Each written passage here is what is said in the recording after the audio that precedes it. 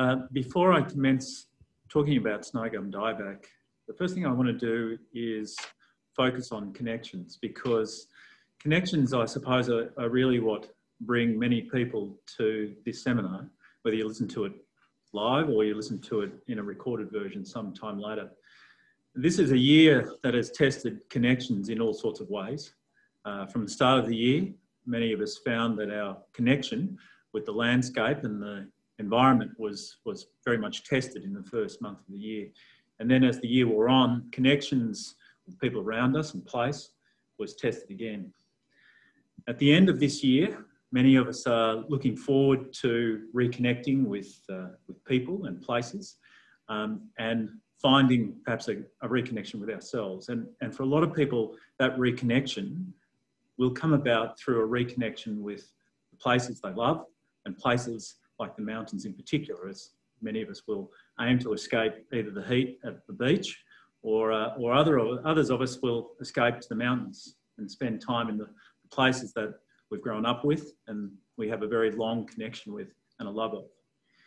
While I speak of those connections, it's important that we acknowledge not only our connections with the country, but we acknowledge the country itself and we acknowledge the connection between our Indigenous members of the community and country and acknowledge those Indigenous custodians of the, of the country. In particular here in the ACT, the Ngunnawal people, but also in the area that I'm displaying this, this beautiful image of, the Ngarigo people. Much of the talk will focus on work conducted in Kosciuszko National Park, and, and in particular, I want to acknowledge the Ngarigo people from that perspective and their elders. When we think about snow gum, and certainly when I think about snow gum, an image comes to mind that embedded itself in my psyche decades ago. This picture was embodied on a, or represented on a poster that you could walk into the Wilderness Society store in any city, you buy this poster, and it was a poster that came with the words Australia's natural heritage. It's a picture of a tree, snow gum, growing on Mount Nelson, Victoria, and it embodies a lot of the, uh, the values, the messages that snow gum you know, represents for many people. You can see a tree in an extreme environment, crusted with ice and snow, its bark almost red raw, a tree that has clearly withstood the test of time. It has dead stems around the base and dead twigs at the top, and yet it's still there. And that image of snow gum is one that many people connect with. Now, our understanding of snow gum and the role that it plays draws a connection with the human history in the mountains, and in particular, the human history um, of this fellow here is illustrating some key alpine concepts to students, and that's Alec Costin. Alec played a particularly important role in the mountains, and it's, it's worth taking a moment to acknowledge Alec's role. Alec played a major role in the post, uh, well, after the park, Kosciuszko National Park had been gazetted, a major role in rehabilitating that landscape, but also played an important role in understanding ecological, soil, and perhaps most importantly to this talk, the hydrologic function of the Alps. Now, one of the important things that came out of early work that Alec Costin conducted was the contribution that snow gum makes to hydrologic function in the Australian Alps. And this graph captures some of that important element. On the vertical axis, you can see that uh, you can see represented precipitation that occurs underneath trees in parts of Kosciuszko National Park. And you can see the areas indicated on the diagonal lines, Piper's Gap, Charlotte's Pass, Sawpit, Sawpit Creek, and Boggy Plains. On the horizontal axis, the x-axis, you can see precipitation that is falling on ground in the same area as is represented by tree cover.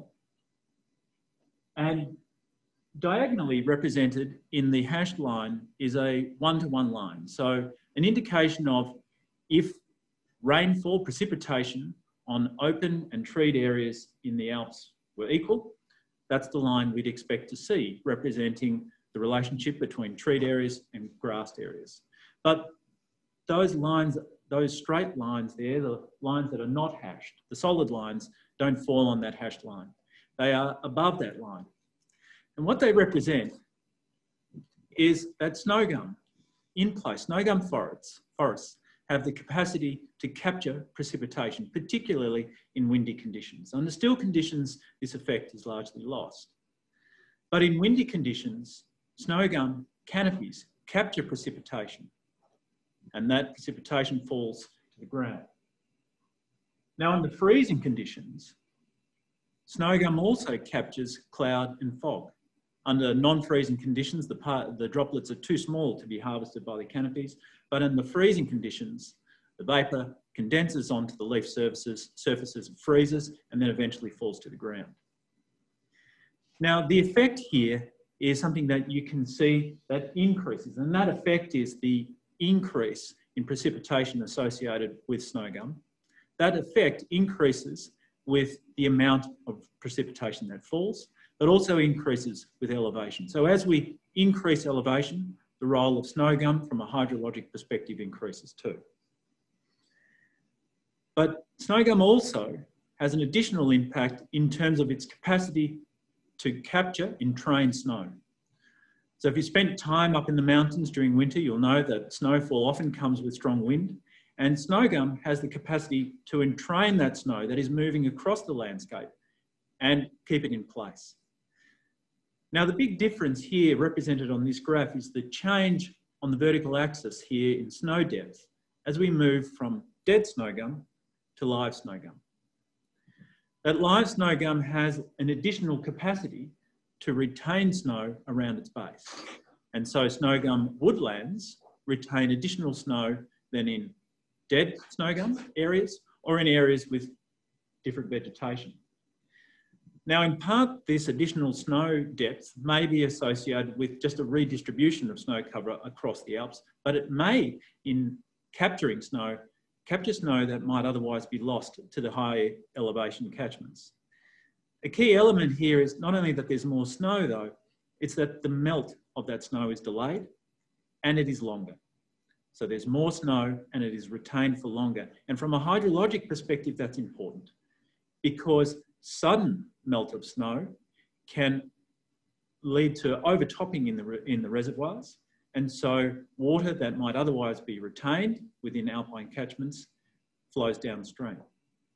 So snow gum then has a capacity to not only increase the amount of, of water that is retained in the landscape, but it has the capacity to retain that water for a longer time. And you can get some idea of just how much water can be lost or how much snow may be, may be lost under dead snow gum simply by looking at this graph. It may be in the order of 40% less than under tree cover, uh, under living tree cover. Now, the critical importance of snow gum's contribution then is borne out in a, uh, in a very nice paper from Randall Donohue and others at CSIRO. Now you can see here a representation of the Murray-Darling Basin and, and what Randall did here was characterise Murray-Darling in terms of yield zones. And represented there are the yield zones in terms of their capacity to yield water. So we have an extremely high yield zone represented in purple and a very high yield zone in blue. Then the southern high yield and northern high yield zones. Now those two zones, the purple and the blue, the extremely high and the very high yield zones, comprise a very small part, a small percentage. You can see there in the graph, and sorry, in the table, that the extremely high yield zone comprises 0.3 of a percent and the very high yield zone 2.1% of the total land area in the Murray-Darling Basin. But combined, they, com they yield 26%, more than 26% of the flow into the Murray-Darling Basin.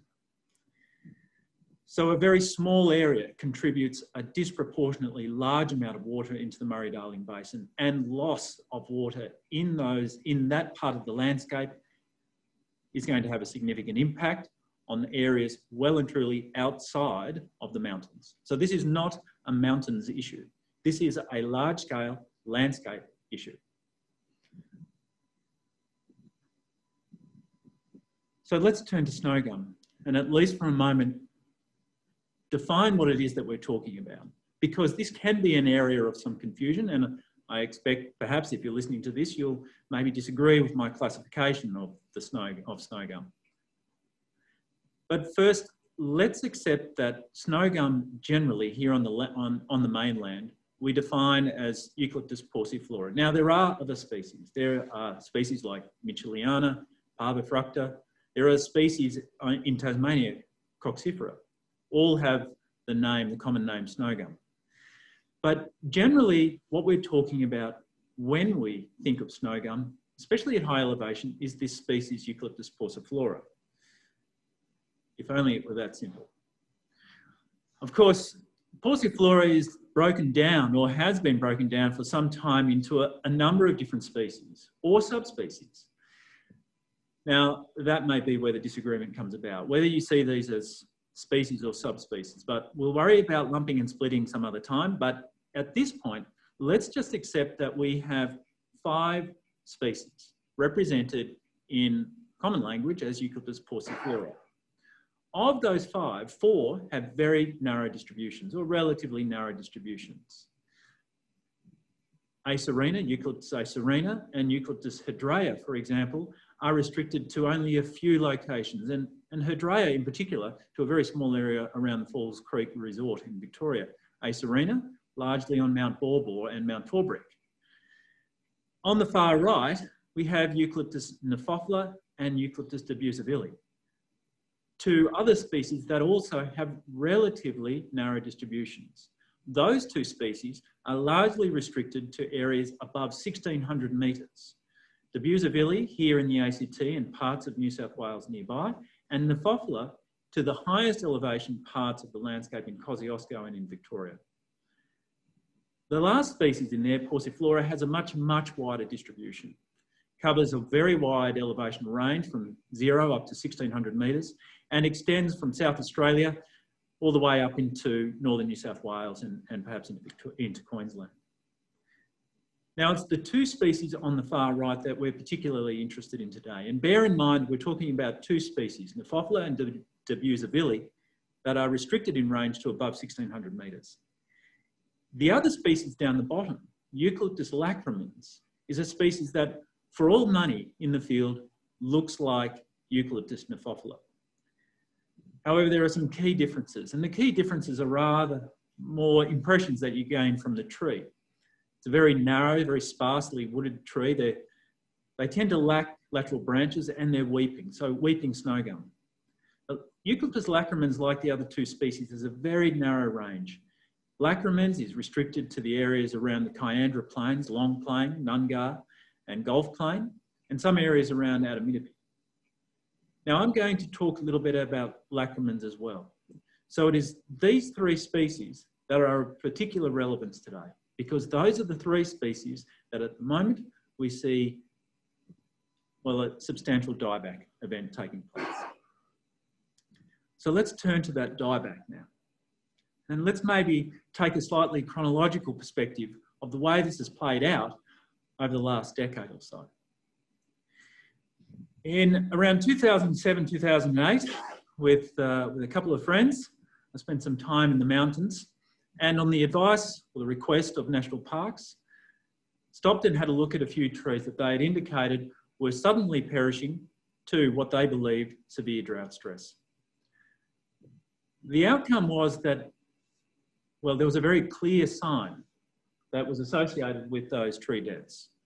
Those tree deaths were dispersed across a large area. And not only were they perishing very quickly, but they bore some very telltale signs. And you can see those telltale signs here. Deep scores, horizontal scores across the bark, and not only in the bark, but into the sapwood. And those scores to me, having worked in forest industry before, were recognisable as the damage by wood boring insects. The only insects really that can achieve this kind of damage in live timber. Now, a key element to my observations at this point were that the damage that we were seeing at the time was consistent with historical evidence. So trees that had obviously been dead for decades bore exactly the same signs. Now, as I mentioned, they're suggestive of a wood borer. They were very much indicative, of, rather, of a wood borer. But a key element here is that not only was the stem, the crown, dying, but there was clear evidence that the entire tree was perishing. So rather than as a fire passes through, the above ground elements die and then the tree resprouts, what we were seeing was the complete death of the individual tree. So on the image on the left-hand side, you can see some little shoots that have shot away, but then shortly after they shot away, they perished. And that was typical of the trees in the landscape that we were seeing at that time. Also typical was that those trees were trees that had regenerated after the 2003 fire, not from shoots at the ground level, but from shoots in the canopy. And it wasn't just one or two of those trees that were succumbing, it was every single tree. And then,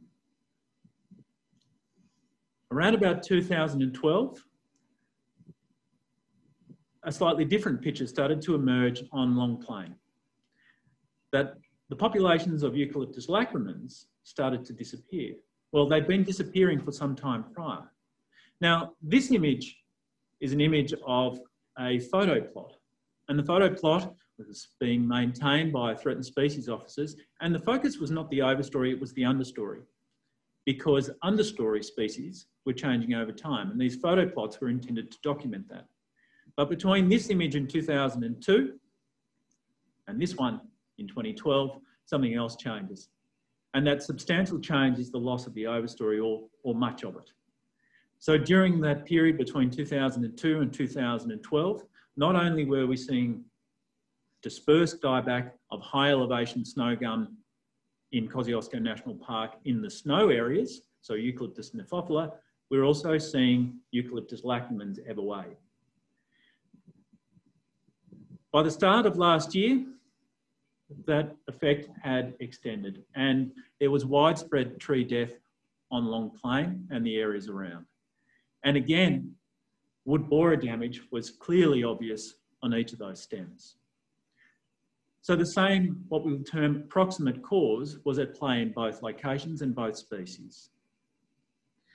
By the start of last year, suddenly a problem that had been slowly eating away at snow gum forest became very clear. Around Perisher,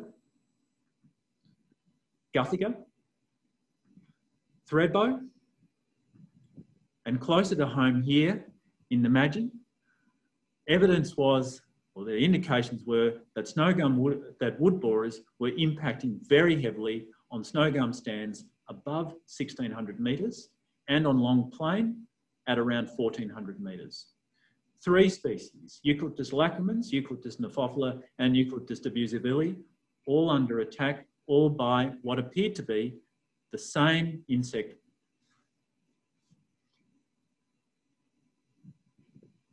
Now, from a distance, it looks just like fire kill.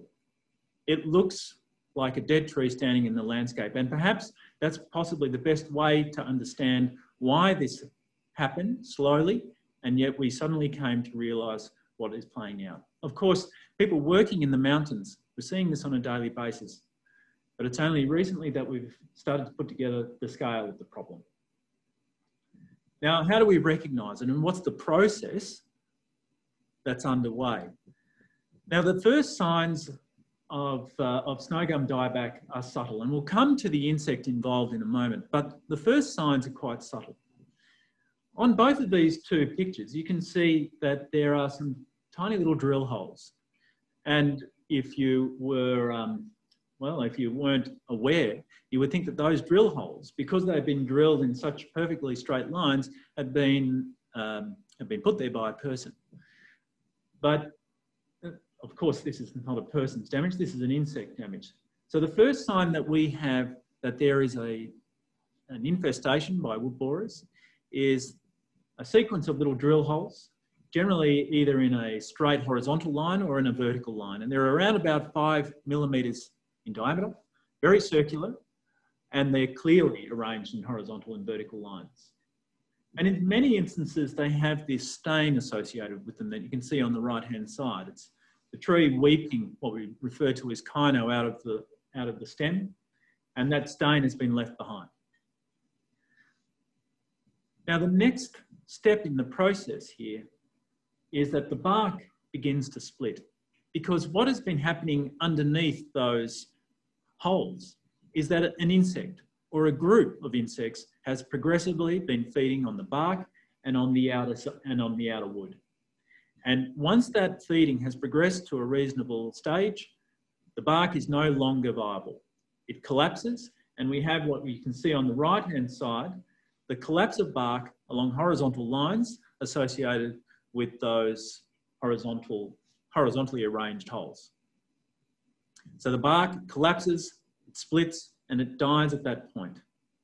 And then because the flow of water from the ground to the canopy and the flow of sugars from the canopy to other parts of the plant have been interrupted, plant then, the stem begins to die. And the entire stem dies progressively as the insect feeding progresses and ringbarks the tree. So this bark collapse associated with frass clearing holes is a key part of the process. And as the process progresses, the bark splits horizontally, as you can see on the, uh, vertically, as you can see, or at least parallel with the stem, splits on the, as you can see on the right-hand side, and the entire stem begins to perish. Now, by this stage, the canopy is almost entirely dead. On the left-hand side, while the process is in an, in an advanced state, externally from the canopy, there's no, there's no indicator. The tree will continue to function and the failure of the tree will come very suddenly.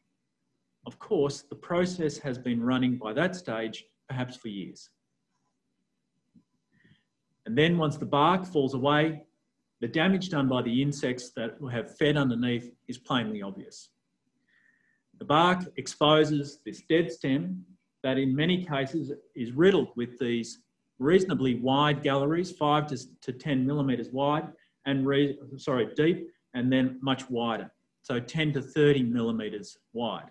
And that width reflects the fact that in many instances, not just one individual is, a, is feeding below the bark, but in some instances, five or six individuals will feed collectively.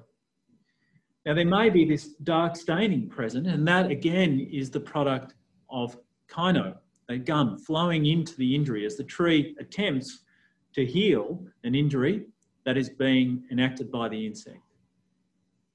And also associated with the injuries are these deep penetrating holes that, um, that allow the insects to find safety and then move between different uh, horizontal gaps. Pete, you have a question? Yeah, we just had one question. Someone's just asked to explain what uh, frass is. Okay, that's a good question. The frass, and we'll, perhaps if I can just take a step back to those frass clearing holes. As the insect is feeding, it's chewing away at the bark and is processing the timber very quickly. Wood borers, like a lot of animals, have difficulty processing cellulose. And what the wood borers are after is not necessarily the cellulose, that hard material that makes up the tree, but the contents of that cellulose. And so the insect needs to process that material quickly. Of course, if you're eating a lot of material, then you're going to produce a lot of refuse. And for an insect, we'd simply call that frass. And so it's the feces of the insect. And the insect needs to get rid of that and get it out of the way. And the best way to do it is just make a hole and throw it out. So that's what we have, these frass clearing holes. And if you have time and you're in the mountains, it's um, a wonderful way to spend a minute or two. Just watch little puffs of frass exit the holes. okay, so, so as the, uh, the process continues, the tree eventually dies. And, and at this point, I'm talking about complete failure of the tree, not just the stem. The tree may have several attempts at regrowing. You can see a tree here that's had several attempts at regrowing. It's regrown epicormics off the stem, so these little sprouts that grow directly out of the stem, or from sprouts that grow out from the lignotuber, the large woody mass below ground that stores carbohydrates, and they perish as well. So we're talking about the death of the entire tree. So if we're going to think about dieback, and I'd expect that there will be questions immediately about the ultimate driver, and, and of course that's the question that we have too. If we're going to think about dieback, let's try to understand dieback before we dive into this specific problem. Or perhaps not specific because we're crossing multiple species boundaries. So let's think about what is dieback. Dieback broadly is something that we think of as the decline of canopies. Canopy decline and death is how we would broadly characterise dieback. Now, there are lots of other definitions that try to separate dieback from decline, but if we're going to look at a tree and think of it as dying back, the signs are in the canopy. Now, dieback, when we try to understand dieback, we need to think of both proximate and ultimate proximate causes and the ultimate drivers. So the proximate cause, the process, the insect, the physical event that leads to the death of the tree in the moment. Whereas the ultimate driver, we might consider as the predisposing factors, the inciting factors that lead to that outcome. And it is that question of what is the ultimate driver that has proved particularly vexing in dieback outbreaks, especially in Australia. We'll come to why that is the case in a little bit. But the last point to really, really take away is that dieback events all have spatial and temporal elements. And we need to understand that both the spatial and temporal elements to dieback if we have any chance of understanding what is playing out before our eyes and what we need to do about it. So if we were to construct a conceptual model of what dieback is, it's a combination then of predisposing and inciting factors. Predisposing factors that introduce stress in one way or another to a tree or a stand of trees, and then an inciting factor that precipitates a dieback event. And we need these two things because in the absence of an inciting factor, the process cannot commence. If dieback happened without inciting factors, it would be happening all the time, unchecked. So we need a tree that is predisposed and then we need to incite. We may also, in some circumstances, have what we term the accelerator. And generally that accelerator is a biotic agent, an insect in, certainly in this case. The accelerator feeds upon the process that has been set in train by the inciting factor and capitalises on, in many cases, stress traits. Now, those predisposing factors we can think of in a number of ways. They might be stand structural aspects. We're familiar with forest succession, where one species might be replaced by another. And that is a consequence of age-dependent processes leading to structural decline in stands. It may be associated with edaphic, so physical conditions of the site, being particularly stressful. And those conditions, like stand structural elements, predispose stands and trees to stress. But it is in the presence of a stressful event, an inciting factor, perhaps a severe windstorm, perhaps an extreme drought, perhaps waterlogging, something that incites the process and really gets it moving. And then the accelerator comes in, finds stress trees and knocks them out. Now, accelerators don't always exist in dieback events, but there are many insects and fungi that act in that role. And an example that we might draw upon to understand why we need to have such a clear picture of these predisposing, inciting and accelerating factors might be borne out by this example on the Monaro High Plains. If you're unfamiliar with the issue, the Monaro High Plains were affected by dieback in the early part of the 2000s. The situation as it stands now is that there is virtually no manna gum, Eucalyptus viminalis, standing live in that landscape. And that happened as a consequence of this proximate cause on the right-hand side, a Gonipterus weevil feeding on the leaves, progressively attacking again and again and again until the trees have no resources left to respond. But where are the predisposing and inciting factors there? We have the accelerator, the insect. But where is the predisposing and inciting factors? There are ideas around what the predisposing factors were. Perhaps landscape change, clearing, the application of fertilisers, changes in the hydrology associated with human interaction. But also, where was the perturbation, the inciting factor that kicked it off? We can't have dieback without an inciting factor. Otherwise, we have it going on all the time. And if that was the case, we wouldn't have forests. We have forests, and so that gives us evidence that we need these inciting factors. So where was the perturbation that set it in place? Well, in the absence of historical data, we simply cannot answer that question. We need to have a view across the temporal domain of dieback and what precipitated the event itself. And in some respects, we were a little lucky when it came to the Monaro dieback event, insofar as the trees in that landscape, in some instances, produce annual tree rings that allow us to peer into the history of those trees. And in some instances, we can see that those trees, their growth, went through several phases of slow growth, but it was in the early 1990s where growth really fell and then remained relatively low with the exception of one sudden spike in growth, remained relatively low right until the end. There is no way we can gain that kind of insight by looking at a tree that dies in the moment. We need to understand the historical element. We also need to understand the spatial component.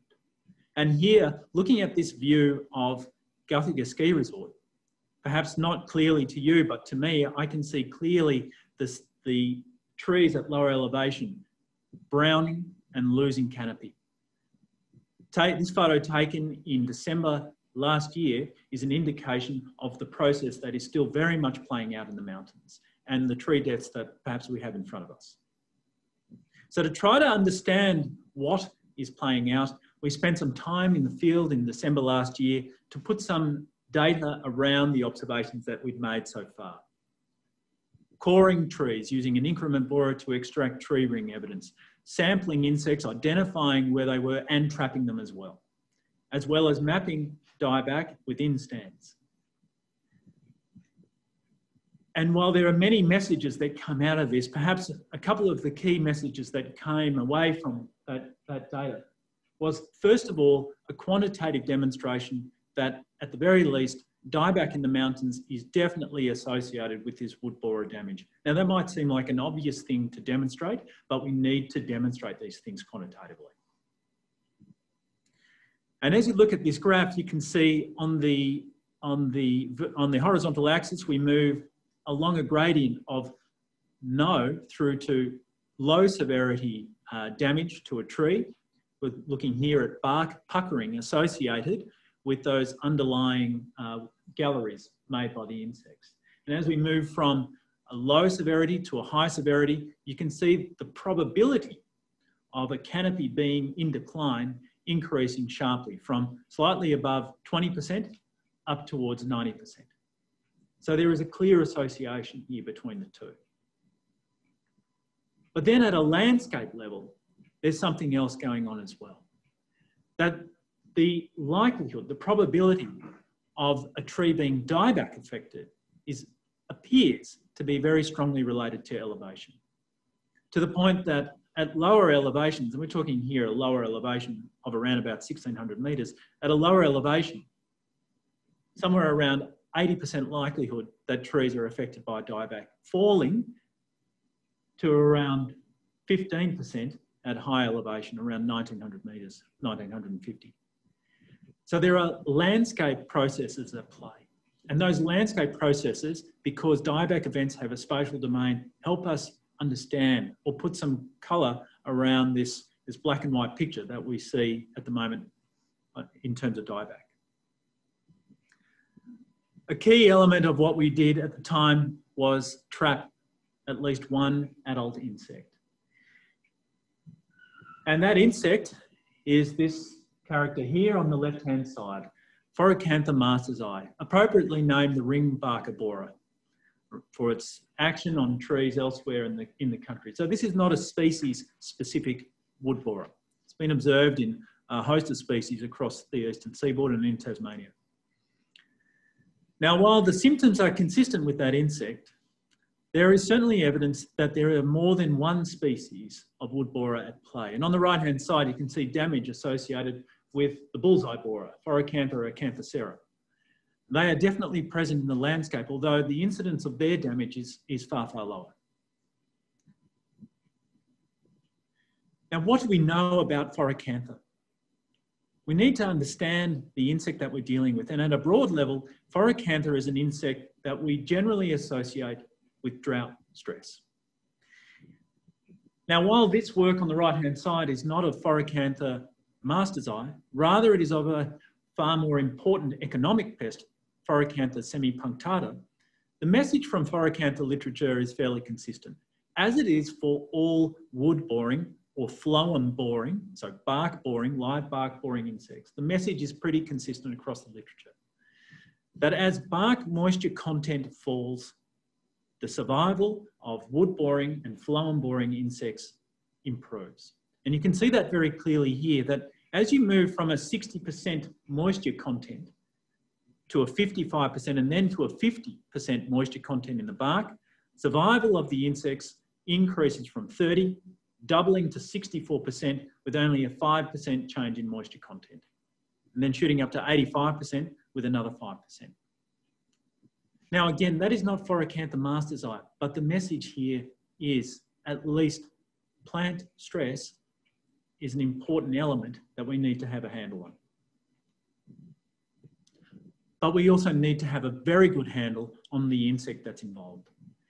Tomorrow morning, I leave here at around about 5.50 or 6 a.m. to head up to the mountains and start re-establishing these traps. These traps are intercept traps that over the course of the next six to seven, eight weeks will be in place as when we believe the adults will emerge from trees and we'll have our traps in place to collect as many as we can. The reason for that is we need to understand, first of all, what species is involved, but if possible, collect live specimens that we can work with in the lab. Associated with that, we need to also work on understanding tree growth and tree stress. And that is a combination of high resolution monitoring as well as understanding the hydraulic behaviour and the, and the long-term growth behaviour and stress indicators in tree ring series. And that is probably the most important element that we have on our side at this stage. That at high elevation, snow gum produces clear tree rings that allow us the opportunity to peer backwards in time. And that temporal element is absolutely critical because the evidence in front of us is that there have been outbreaks before. Here is a map of an outbreak that affected the Thredbo ski resort area in the 1960s, 70s, and 80s. However, it just stopped. And it was a much smaller outbreak in extent. What were the temporal elements that, uh, that brought about that outbreak and what stopped it? And the evidence in front of us is that we can extract some of that knowledge, some of that data from the tree ring record, as I've already mentioned. And we have a long legacy of tree ring data here at the ANU. And in addition to that, current tree ring data indicate that we can certainly date dead trees, so identify when they are affected, but also peer back in time to identify when the, the perturbation events occurred that perhaps preceded the onset of dieback. We also need to get on top of the spatial domain. And while we have remote sensing data available, well, this is where we need help. And this really is the ultimate appeal for help. As you leave your, your work and perhaps you go on holidays for the year, perhaps you go up to the mountains. I'm asking you to help me by looking for the symptoms that I've just described. Now we have a website online. We have a number of mechanisms that everyone can use to report dieback that they see in the mountains, snow gum dieback, and in particular those symptoms. So briefly to those uh, online tools. The first one we have is embedded within the Atlas of Living Australia. And if you're a user already of the Atlas or you have BioCollect already installed on your machine, the Atlas of Living Australia is a portal that we are using and we have a project within the Atlas known as No Snowgum Dieback. And that's the logo for it. You can search for that and you can make reports of dieback at any time. Now, a report is a fairly simple thing. It comprises really a name, a photograph of the damage you've seen, and a location. You can, if you wish, add in more details, but a photograph and a location. And then we verify them, both in terms of looking at the photograph, and then we'll be out on the ground as well in the coming months. But if you're not an Atlas of Living Australia user, there's, you're, not cut out of the picture here. If you jump online, we have a website, Save Our Snowgum, and within Save Our Snowgum, on the front page, there's a big orange button that says click to report dieback. And basically it takes you to a report form that works the same way. If you're using a device that has location services enabled, it will locate where you are and it will also assign a date to when you're making the observation. Now you don't have to have that enabled, you can manually indicate where you are.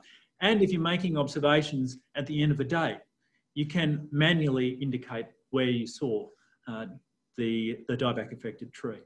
But again, like the ALA, the Atlas uh, record, we need a photograph. So a location and a photograph. Also, there's an opportunity here to not just make observations that you make this year, but maybe you've spent the last five or six decades out in the snowy mountains. And this summer you're looking through your photographs and you think, oh, hey, hang on a moment. There's some of that damage that, you know, we're seeing in the mountains now. But this photo was taken in 1959 when we were coming out of that party at Karila Hut. Well, you can make those observations too. So record those. They are every bit as valuable. Again, where and when, spatial and temporal, that's what we need. Optional, additional information, you can tell us something about the condition of the tree. Was it alive and healthy? Was it completely dead? And you can also describe the symptoms that were present, but you don't need to. A photograph, a location, and a date. That's what we need. Now, quite a few people have been doing this already, and we can get some indication now while we've got a reasonable number of observations in the ACT and across New South Wales. We only have a handful there, three in Victoria. And we know that dieback is affecting stands in Victoria. So the key takeaways at this point. We have associated snow gum dieback with a wood borer infestation, an infestation that there is evidence for in the landscape that it has happened before. But we have some real needs at this point. And while we can use tree ring data and monitoring of trees and surveys now to start giving us data on what's playing out now and what may have happened in the past and understanding tree stress, we need your temporal and spatial data to start informing our understanding of what's playing out now. I'll turn to questions. There's not a lot of time, but 15 minutes for questions. But before we do, I just want to acknowledge uh, a number of people and organisations. Much of the work that we've conducted so far has been supported by the Australian Alps National Parks Program and by in-kind support from the New South Wales Government through DPIE. Perisher Ski Resort has uh, been very supportive and this summer uh, will be supporting much of the work we'll be doing. And I want to mention in particular Mont. Uh, Mont have been very supportive over the last couple of months in particular in getting messages out to the community and also supporting us in the field. There are a number of people there on the right hand side that um, at least I want to have their names up there to acknowledge them. Um, but also acknowledge uh, and mention again those two portals through which you can make observations about dieback anytime. I might throw to questions. Okay, we might.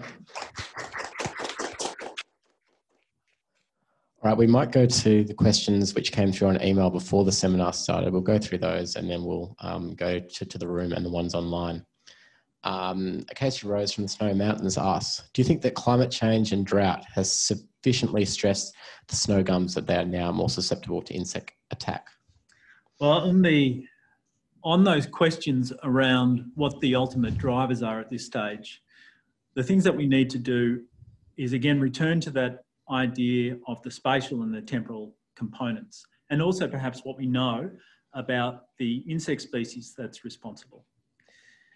Now, if we think about the spatial component, at 1600 metres, while we see very severe effect at 1600 metres, the effect barely extends below that. Now that boundary, as I mentioned at the start of when I was introducing snow gum, the different snow gum species, may be associated with species and, and there are differences in the physiological behaviour of snow gum species. The question as to whether climate change is impacting upon those species at high elevation is something that we can, we can only come to by understanding the response of the higher elevation species or along an elevational gradient over time. And that's, that's something that we can extract from the tree ring record as much as from the current physiological record.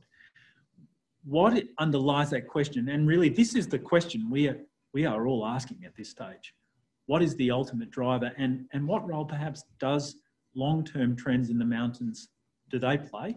We know that temperature was six and a half degrees above average in January of 2019. And that is exceptionally warm. That question is something that we need to take on in understanding the combination of those edaphic elements and perturbations. The simple answer at this point is I don't know. There is evidence that perhaps, but there is also evidence that this may be a disturbance associated process too. Uh, the next question we had uh, emailed was, is the snow gum the only species affected?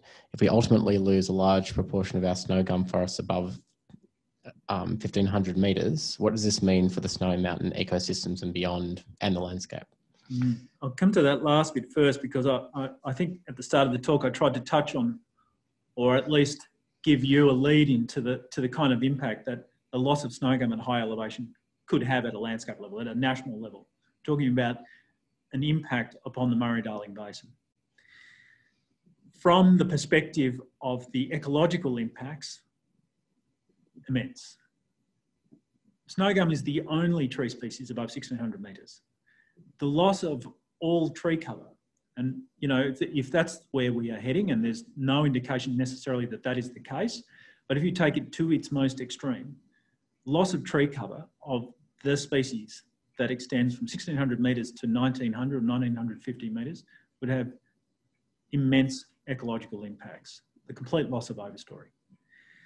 Um, in terms of the species affected, at this stage, three species that we're aware of, Niphophila, Debeuzevillei and lacrimans, all of them sort of in, in common terms referred to as snow gum.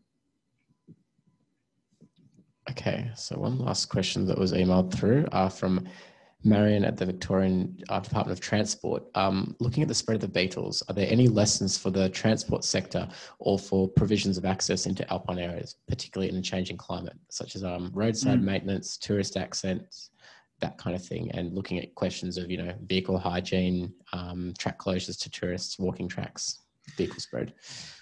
Yeah, I, I, this is an issue that we discussed actually uh, very early last year when there was um, when we hoped that this was a problem that was restricted in range. Was the issue of can we? Is it possible to quarantine materials moving between locations in the mountains? The important point to take away here, I suppose, when we talk about the spread and the dispersal of this insect is, is that it is a native insect and it is well dispersed throughout the landscape already. While it may benefit from disturbance, insofar as disturbing trees and stands may lead to additional stresses on individual trees and then give insects the opportunity to impact upon those trees. There's no evidence at this stage that this is a process that is facilitated by transport, human transport. Uh, and, and, that, and the reason I say that is because we, we have observations of dieback wood borer outbreaks in, in very remote locations. For example, around Jagung, Mount Jagungal, for example, and, and that's not a high, highly used transport area. Yes, people are walking around in that landscape, but we're talking about a native insect that, that has a natural disperse, dispersal around, around the landscape. Um, from the perspective of hygiene then, I guess the important thing, uh, we can contribute from a hygiene perspective, but as to how that would impact upon the dispersal of the insect, and it seems so widely distributed at this point, it's not clear to me how that might, might impact. Um, a question from Mike Baker is uh, Snowy Hydro interested in this uh, due to the potential impact on water operations? And I'm thinking in terms of them potentially helping fund the research to find the solution. Uh, I have uh, talked through this with Snowy Hydro, and, and I can say that certainly earlier in the year they certainly expressed um, interest and concern around what was happening, particularly around the Long Plain area. Um, as to whether uh, they they can fund, there's always opportunities to fund research, but um, but at this stage, yes, they're they're concerned and they are aware. Um, a couple of questions just about the species again, but you've already highlighted the three um, subspecies affected. Uh, what relationship is there between the 2003 fires and dieback, if any? Yeah, that's that's a great great question because that was a question that we were thinking on in 2007 2008 when when the outbreaks when we saw these widely distributed tree deaths. And and as I said we saw trees dying that were recovering from the 2003 fire and they were recovering from shoots in the canopy. And those were those were the only trees affected and every one of those trees we could find was affected so one would reasonably then conclude that there may well be a legacy effect associated with the 2003 fire and that disturbance may play a very important role as an inciting factor that really kicks the process off. As to what role fire plays more broadly then, um, we need to peer backwards in time. So we might say, okay, well then fire plays a significant role. It, it could. But if we look backwards in time at the events that uh, played out in the Thredbo ski resort, we, we don't, there is no fire immediately prior to those outbreaks. While there was the 1939 fire, there was no dieback event following hot on the heels of that event. So while fire may play an inciting role, it's not consistent throughout the history of dieback in the landscape. Okay, here's one from Peter Murray. Great presentation, Matt. Uh, are the borers native? Yes, they are. And what are the optimal conditions for thriving and healthy snow gums? Well, it, I guess that depends on, on the species. Um, and we would have to turn to early work from Ralph Slatyer here at the ANU um, and work too from the 19, early 1960s where, um, where, um, where researchers fitted long-term or reasonably long-term um, dendrometers, these little monitors that, that measure the way that trees grow over time. The evidence in front of us is that, yes, snow gum is negatively affected by cold winters. So it doesn't grow during the winter and that's why we have clear tree rings. But then as spring warms up, the snow melts, they take off and they grow reasonably well. There's plenty of water in the soil and the air is reasonably moist and they, and they really grow very quickly during that initial period. But then during summer, their growth appears to sort of tail off.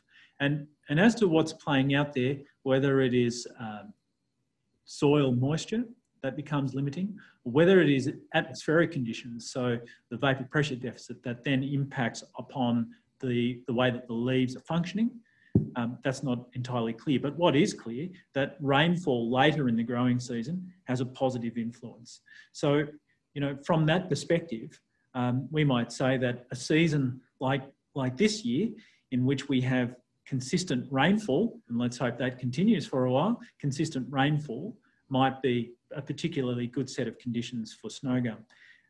One thing we need to be careful about though is while we would think that um, snow and cold is to the detriment of snow gum, it slows them down. Of course, that snow and long snow cover or you know long snow duration has a benefit for snow gum as well insofar as maintaining soil moisture.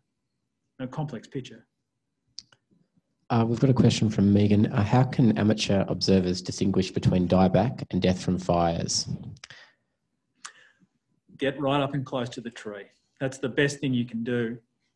A fire affected tree will not have these deep scars. So if a fire was responsible for killing the tree, the bark will fall away and you'll just be left with these smooth silvered stems. So in a way, maybe that's why this sort of crept up on us because there are so many dead trees out in the landscape that a few more trees, and there are a lot of trees dying, but a few more on top of what was out there was it's difficult to pick.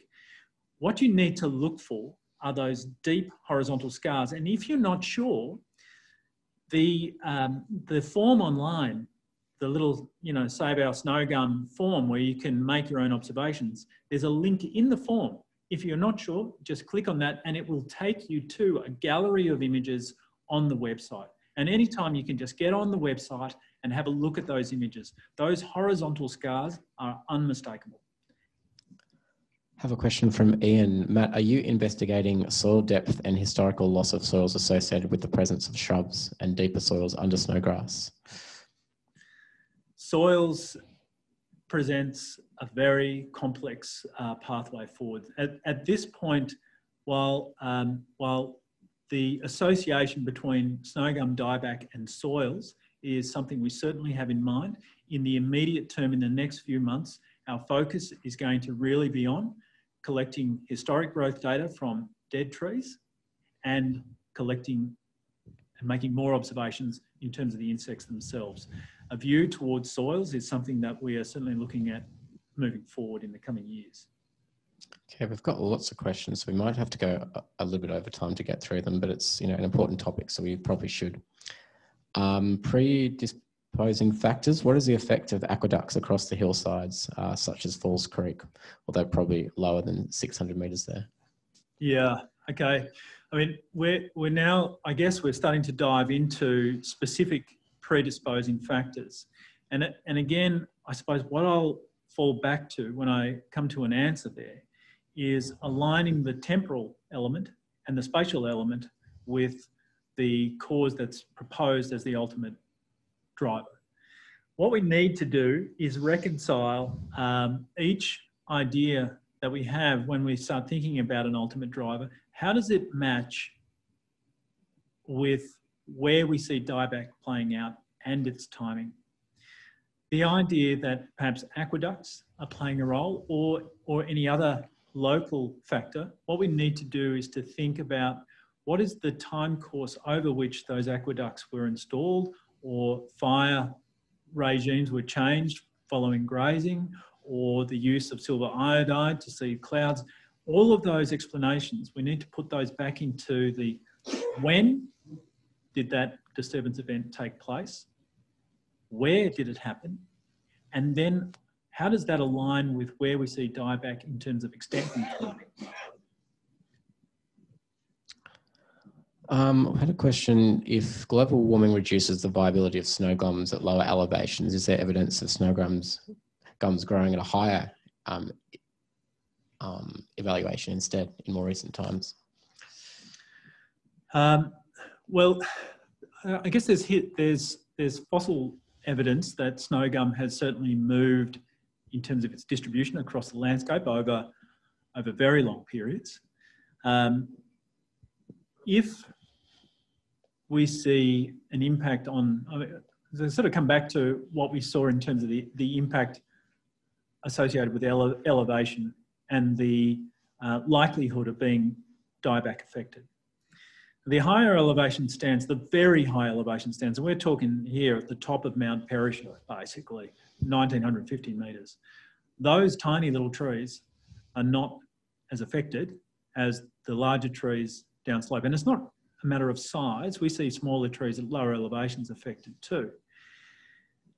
So if it is a landscape process in part, that at higher elevation, perhaps because of temperature differences, you know, eh, let's follow that line of reasoning for a moment, then at higher elevation, perhaps those trees will at least be spared the worst, or perhaps the, their growth will improve. I mean, that, that is the kind of effects associated with climate change and global heating that we've been talking about for some time. What I would say though is when we try to make predictions about what the vegetation is going to do as a consequence of changing global climate, we need to be very careful because if for a moment this dieback event is related to climate and climate change, this is not the type of effect that we would necessarily have anticipated when we think about the impact on vegetation. We would say, oh, at high elevation, it will get warmer, the plants will grow more. But here we are seeing an insect attacking trees. So we need to be careful about trying to um, trying to predict too much about what the vegetation is going to do because it is complicated. Biotic interactions make things very complicated we had a question about fire regime as an inciting factor mm. and if it's possible to return to the historical fire um, regime. I imagine the the person who posed that question, I'm well, I, am not sure. We need to ask a question about what the fire regimes were historically, and and again, I, I might sound like a broken record because I keep going back to tree rings, but the tree ring evidence that we have in front of us courtesy of, of John Baines here from decades ago, is that the fire regime has been through two major changes. From the uh, commencement of burning associated with grazing in the high country, in which the interfire period shortened quite significantly. So we had multiple fires within a decade. Um, and then that interfire period extended once the, the national parks were put in place. Now, what we have then is not just a, a time now where fire is actively managed from the part of, of um, management agency, government management agencies, but we've passed through a period in which fire regimes changed immensely. The fire frequency increased, increased on traditional use of fire or natural fire, in addition to traditional use of fire in the landscape. It's doubly difficult now to think about returning fire regimes because we've been through a transformation in terms of fire regimes. The question we might need to ask in some places is, did that, are we living out a legacy of the disturbance associated with the intensification of fire in the landscape, rather than its, de, rather than the reduction of the use of landscape fire, but its intensification during the grazing period. Again, it's a complex question. We have a, a question from Chris Brack. Um, he said, I know it's a different insect, but is there any relationship to the Monaro dieback? And if so, any chance it will stop as suddenly and, and, and unexpectedly as the Monaro dieback stopped in 2019? Well, Chris, I hope not. And I, I don't say that because I'm saying that I hope this dieback event doesn't stop, but because as we, as we, as we stand in the landscape on the Monaro, there are very, very few live Eucalyptus viminalis left in the Monaro. And it may be that the Monaro dieback process ended because the food simply ran out for the insect or the trees were so sparse that population couldn't be sustained.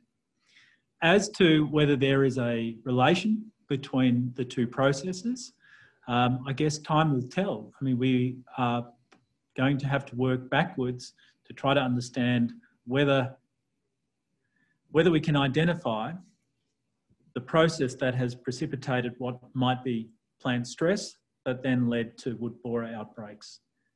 Then perhaps step backwards in the same way with Monaro. But I hope we don't have the same endpoint. Uh, Mark um, Hamilton asks, if we assume the dieback is a combination of extreme drought, fire and insect attack, what are the possible solutions to minimize or prevent further diebacks? Or is there a limited cost-effective operation uh, humans could implement at a landscape scale? The landscape scale attribute of this process is, is really, you're right, is, is a limiting factor here.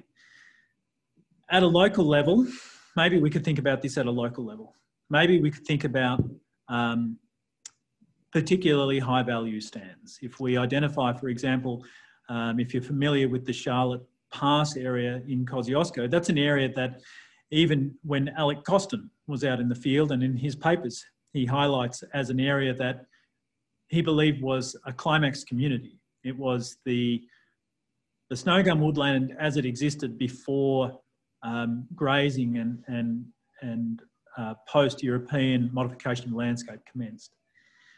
Now, maybe stands like that we treat as a special subset of high elevation snow gum.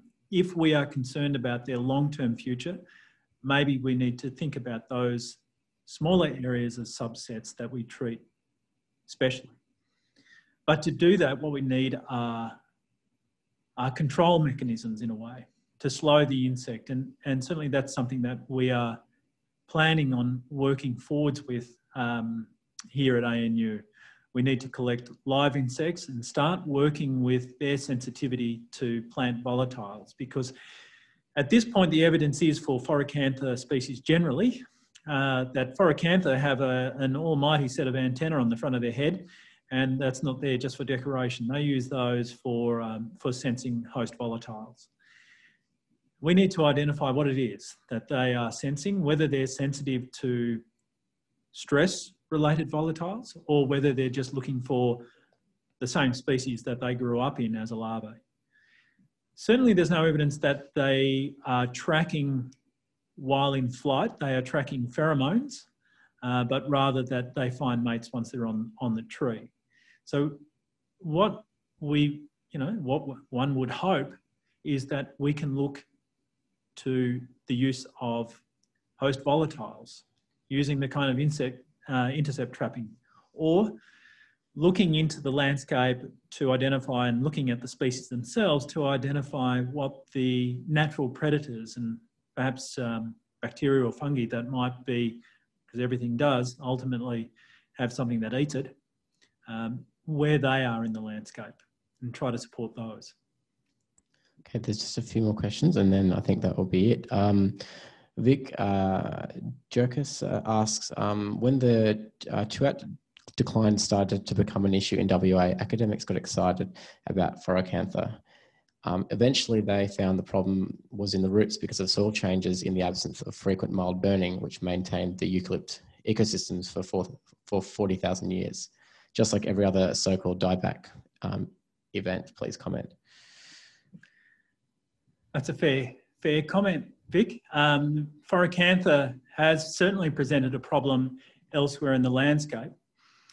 Certainly, outbreaks of Phoracantha recently, around 2013 and 2015, have been, my understanding, have been associated with drought effects in Western Australia, in the Jarrah in particular. Internationally, the effects of Phoracantha are very much associated with drought effects. Even in the lab, where uh, Phoracantha uh, larvae are introduced to filter paper. So we take out of, uh, out of the picture entirely trees and we use just a base cellulose material that has no chemicals, just water embedded in it. In the end, it comes down to the um, moisture content of the material that the insects are feeding on. Now, as to the role of changed fire regimes and how that may be impacting upon rooting and soil depth. That's a, a, a very, very complicated question and one that's difficult to resolve. But again, as I think about the process that is underway, the two key things that we need to return to are those temporal and spatial factors. And a question that I would pose when we think about fire and fire regimes is that does the change in fire regimes and does the onset of dieback, does that logically match with the timing of changes? Well, does the dieback and the changes in fire regimes, do they match? We need to look at those spatial and temporal elements. And if we can't find some kind of alignment between the agreement between those, then then we're we're, left um, we're left without an answer. Um, what we do need to do as a first first pass, we need to put aside questions as to what the ultimate drivers are and focus on these issues of can we identify evidence of plant stress that has precipitated or preceded this outbreak and bearing in mind there have been previous ones, preceded those previous outbreaks too. So we've just got one more final question on the line before we go to a couple in the room. Um, do you think feral horses and deer have an effect to tree stress? Um, I, I, think this was this was a question that we we mused on at the start of last year. You know, what if what if this is is feral horses? Then you know we we really have um, strong motivation to act on feral horses. Now the the at the risk of sounding like I'm just putting myself on repeat, um, we need to again ask this question about the spatial and temporal elements to horses and also thinking about what, what physical impacts they have as well. Maybe having horses in the landscape, depositing uh, manure everywhere, maybe that changes soil properties in some way, changes mycorrhizal association, soil fungi, maybe it does something. But again, we come back to this issue of the match or mismatch of the outbreaks themselves and the spread of horses across the landscape, where they are, how many there are, the density, um, and how that timing and their extent matches with the timing and the extent of dieback. So yes, it's certainly something that we've we've discussed, um, but again, it's something that we can only come to once we've we've nailed down these these really fundamental questions around timing, space, and also um, plant behaviour prior to dieback. Cool. Thanks for the online questions. And a few people have asked just about will this be put up online? Yes, it will. So we're recording this at the moment and we'll share it um, on our website on the event page um, through YouTube. So we've got a question in the room, which I'll just go to now. Matt, David Dumaresq. Um, first, a historical observation. Uh, if I, my memory serves me right, I first went into the Perisher area to ski in about September 1966. And one of my clear memories, having been used to skiing in Alpine Victoria, was the very extensive dieback from about Dainers Gap right through even up to be or almost um, into uh, the bottom end of Charlotte's Pass.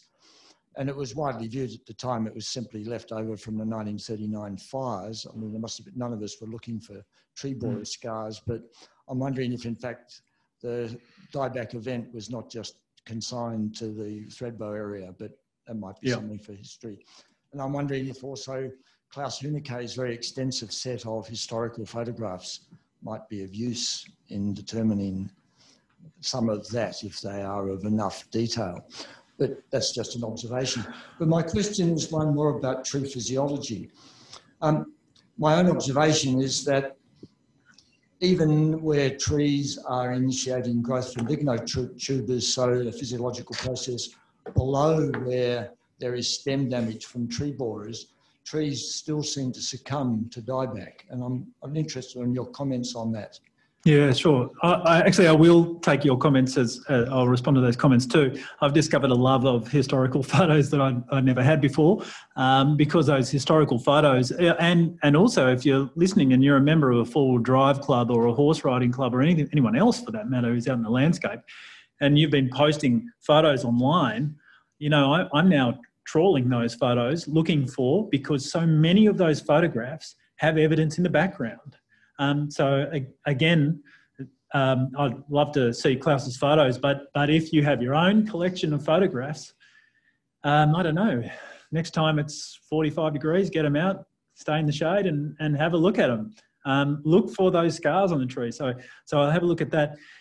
In terms of the extent of, of dieback through Dainers through to Smiggins in particular, certainly there's um, uh, discussions here uh, last year in particular um, with some of the retired park managers. Um, and they, they recall that damage too. And, and in particular, they, they, we talked through the experiences of people like Dane Wimbush, who, who worked with Alec Costin in particular, and, and told me how Dane had noticed that there were these periodic outbreaks where um, wood borers, at the time there was not really clear what it was, there was some association with, with uh, moth larvae. Um, it, it, wasn't clear what it was, but, but there was a, sort of a discussion around, okay, well, that's, that's a process that comes up every so often. It appears to come up on the most disturbed sites. Dainers was a, is famously very, very heavily disturbed. Um, and it seems to come up on those sites and then disappear. So, so I think you're right. I, I would say that there's there was a, a, a little more extensive outbreak than just in Thredbo. I mean, that Thredbo map was really the limit of the aerial photography. Um, and we now have um, um, from Department of Primary Industry um, historic photographs. Um, and, th and that's something too that we'll be turning to people like Snowy Hydro for as well, historic aerial photography uh, for areas so that we can start using those photographs as well as photographs taken on the ground. Insofar as the lignotuber issue is concerned, you know, in the end, we have to ask the question about why it is that, that trees die. And, and not to oversimplify things, but, but trees die because they just run out of food. Drought stress is, is a problem for a tree. But if you've got enough sugar inside the stem and you have the capacity, so you have bud tissue lying um, latent below the bark, then you can regrow. The process is costly, but you've got the sugars there. If you have a process that progressively depletes the carbohydrate store within the tree, and, and if we think about the Monaro process, that's what we think was that issue there, and, and what appears to be that issue of a lot of processes that have a long, stressful experience or, or, associated with a long stressful experience for the tree, that the tree progressively starves. It runs out of carbohydrates and then it lacks the capacity to survive. Now, from a snow gum perspective, those trees have, some of them have substantial lignotubers. Some of them, some of those lignotubers, uh, you, you, know, you can see the stems arising out of the ground from the signal, signal, single lignotuber, indicating that the lignotuber will be several meters across. And so for those lignotubers to fail, really what you need there is a sustained depletion of the carbohydrates within the plant. And the ones that shoot away and manage to, you know, put on a set of shoots that might be 30 centimeters high or so, they, so far as I can tell, they tend to perish um, during winter. You know, when they're buried by snow, there isn't enough carbohydrate in the plant to sustain them over that longer, over the longer haul during winter, or in the middle of summer when perhaps plant physiological processes are slowed and they just can't sustain themselves anymore. Perhaps there's a fungus involved, perhaps there's some additional secondary biotic agent in, involved. But um, in the long term, I, would put it down to carbohydrate depletion and starvation. Well, thank you very much, Matt. Um, are there any other questions from the room? We're 21 minutes over time now, so. All right, we'll probably finish up there. Um, yeah, definitely encourage everyone to um, head on these websites and uh, do some research out in the field. And uh, people can also contact you if they've got any further questions or um, ideas or anything. That's well. right. I'm fairly easily locatable on the ANU website. yep, absolutely. Okay, well, thanks so much for everyone who joined us online and thanks for people who turned up in the room today. All right, thanks for listening. Fantastic presentation, Matt.